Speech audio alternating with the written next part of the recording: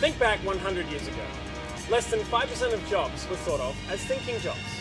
Today, 95% of jobs make up what we call the knowledge-based economy. The software industry is one of the fastest growing industries, and demand for coders is set to skyrocket. Just the iterative nature of web development. Make a couple changes, have the browser open and refresh, see what happens, make a couple more changes, have the browser. To me, that instant feedback, that constant sort of thing was just so gratifying because I could just, I could see my project coming to life right before my eyes. So you write your specification of what you want your code to do first, and then you make your code do it. And this is a profound little step.